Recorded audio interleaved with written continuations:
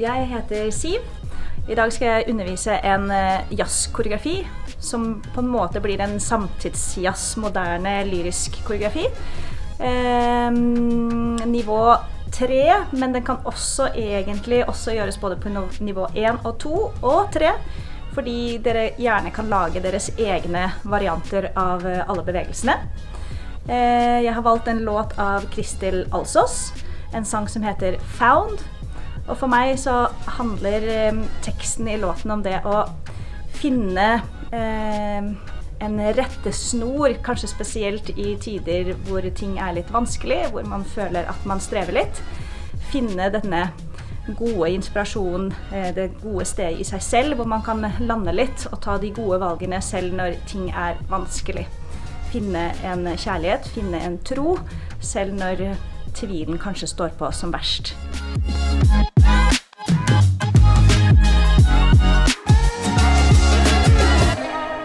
Da skal vi ta del én, og den starter på gulvet. Du kan ligge hvordan du vil på gulvet. På maven, på ryggen, på siden. Når du begynner å høre musikken, dra kroppen sammen. Hun sier 'I'. Så dra deg selv opp og sammen på 'I'. Plasser benda forsiktig på bakken. Så går høyre arm til øynene, venstre under haken, og det kommer på 'somehow'. Slipp armen foran øynene på 'found', og så er det en bling. Da fortsetter venstrearmen opp.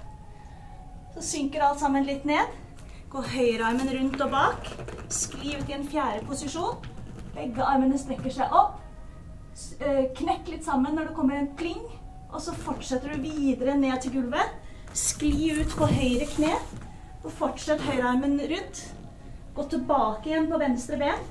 Kan enten bare hoppe litt rundt, rulle rundt, eller gjøre et lite hjul rundt, eller ligge på maven rundt. Samle bena, og kom videre opp igjen. Så går armene ut til siden på didn't know. Så so you found something you didn't know. Så drar du inn igjen. Har fokus på høyrearmen. Den går litt over før den går rundt. Skal rotere med høyrearmen opp, venstre foran. Gjerne i en plie. Kan du støtte litt på venstrebenet. Før høyre går videre rundt. Falle bak i en slags eh, attityd. Sving, sving. Kom frem igjen. Og gjør noen gåskritt. Kan gjøre noen rolige, noen litt raske. Før venstrebenet går videre frem. Toucher så vidt borti høyrearmen før den går videre ut igjen. Og går over til siden. Igjen fokus på høyre. Det var første del. Da skal vi gjøre den med musikk. Med en gang du hører musikken, begynn å trekke sammen. På plingen, tærne ned i bakken. Høyre hånd til øynene først. Opp på haken. Slipp. Pling. Der går armen opp. Synk sammen. Høyrearmen fortsetter rundt og bak. Pling. Sammen. Videre ned. Og videre rundt. Opp på bena. Gå med høyre og venstre arm ut til side. Didn't know. Kom inn igjen. Fokus på høyrearmen. Den går rundt. Fortsett bak. Ut i attityd. Fall bak. Begynn å gå. Let frem. Let bak. Let frem. Høyrebenet fortsetter rundt. Toucher og går ut. Og går fra. Fokus på høyre. Da skal jeg gå gjennom første refreng. Da har vi avsluttet første vers med å gå litt over til vår venstre side og løftet høyrearmen litt opp. Hun gjør en liten pust. Da synker jeg ned, sklir høyrebenet bak. Når hun sier 'there', så strekker jeg høyrearmen bak og lar kroppen bli med langt bak. Så går venstrebenet forbi gjennom annen og fjerde. Gjør en eh, lang rotasjon. Og så fortsetter høyrebenet over. Armen også fortsetter over. Skli bak på venstre i parallell. Trekk høyrebenet inn, også i parallell. Gå videre ned til gulvet. Armene i gulvet. Begge bena høyre over vristen. Her sier hun 'place'. Finn en slags place her. Legg venstrebenet ned før du ruller. På ryggen. Armene er i bakken. Bena er i bakken. Trekk venstre kne inn. Åpne venstre ben og armen. Ligg ned på, på venstre skulder. Begge bena går over hodet. over til andre skulder. Trekk bena inn. Rull raskt rundt til andre side. Trekk høyrebenet frem. Dra hele kroppen opp, akkurat som du blir sugd oppover. Men så slippes alt ned igjen. Over til siden og gjør et rolig hjul. Og avslutter i en fjerde lunsj. Da skal vi gjøre andre, nei, første refreng med musikk. Avslutter med å gå over til siden. Fokus på høyre arm. Synk ned når hun puster. Forleng bak. Venstre ben. Roter. Høyrebenet fortsetter over. Skli ut. Ned på gulvet. In a place. Rull videre. Venstre ben ut. Begge bena over. Ligg sammen. Rull over. Dra opp. Og synk ned. Inn i hjulet. Og fall ned i fjæra. Da skal vi gjøre vers to, eller del to. Da har vi avsluttet første refreng. Ganske dypt nede i en slags fjerdeposisjon her, etter hjulet. Bytt bena på bompo. Roter så mange ganger du vil på gulvet. Bare bruk armene til å rotere. Rundt, rundt, rundt, rundt. rundt. Fortsett opp med ryggen til først, og så snu frem. Gjør en liten sirkel med høyre, en stor sirkel med venstre. Kom tilbake over til høyre ben. Snu mot bakre hjørne, så skal vi gjøre en barrel med strake ben. Så vi satser på venstre ben. Begge bena er strak, men litt skrå. Ned på gulvet. Skli ut på høyre ben. Litt likt det vi har gjort tidligere. Roterer tilbake. Høyrearmen nesten drar med seg høyre ben. Og så fortsetter armene opp, opp, opp.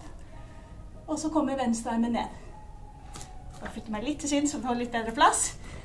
Venstre, høyre. Akkurat som du skyver noe vekk, og så henger du i den. La vekten komme godt på utsiden av høyre ben før du faller ut. Roter tilbake igjen til venstre hjørne.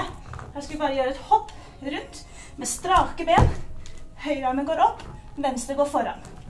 Opp og land. På begge bena hele veien ned. Gå venstre høyre ben frem, og arch hele ryggen. Hoftene er ned, brystet er opp, armen brettes bakover. Kom tilbake igjen. La venstrebenet gå ut.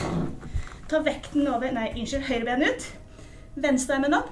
Så skal venstrebenet først ut og høyre ut til siden. Opp og ut. Og gjerne gjør den veldig rolig. Opp og ut. Og ned og stå og se mot hjørnet. Da skal vi gjøre andre vers, andre del, med musikk. Avslutte første del med hjul ned til en fjerde. Bytt bena.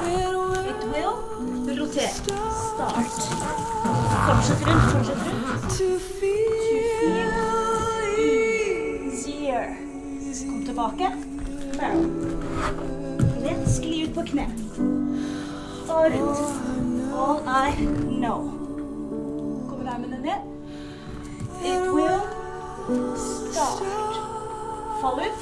Kom tilbake. Hopp rundt. To feel easier. Kom tilbake. Og bena opp. Og stopp.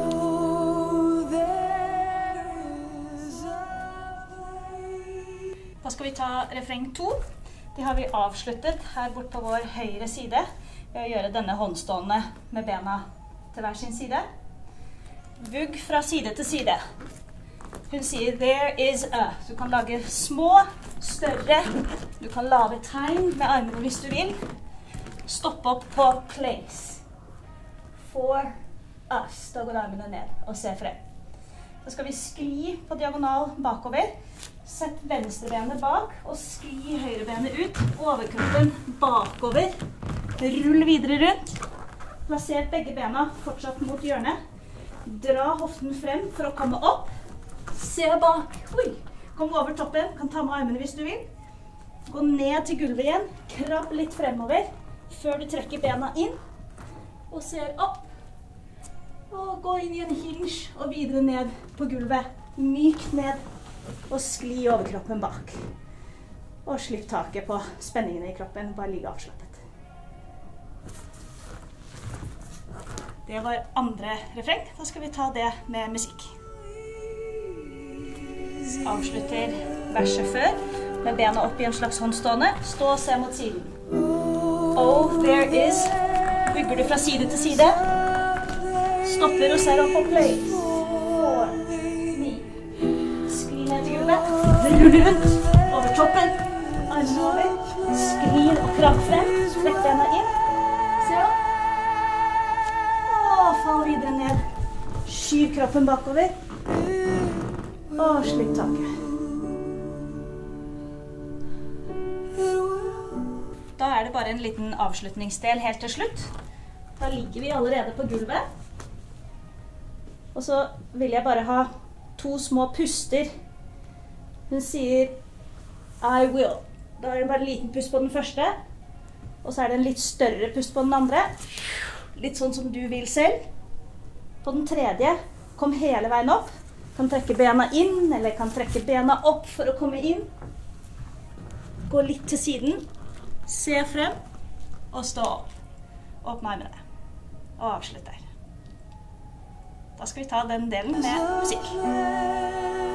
Da avslutter siste delen. Se opp i taket. Fall ned og ut på gulvet.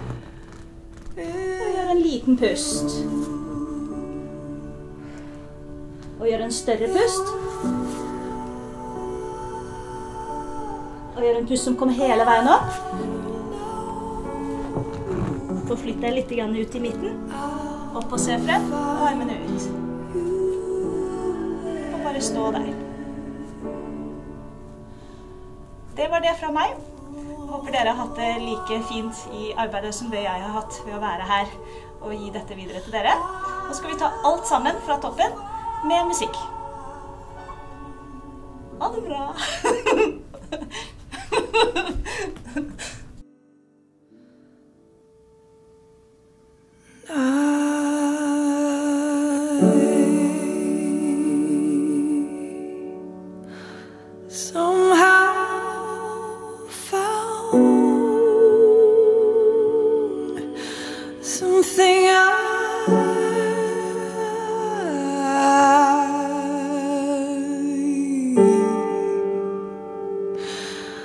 didn't know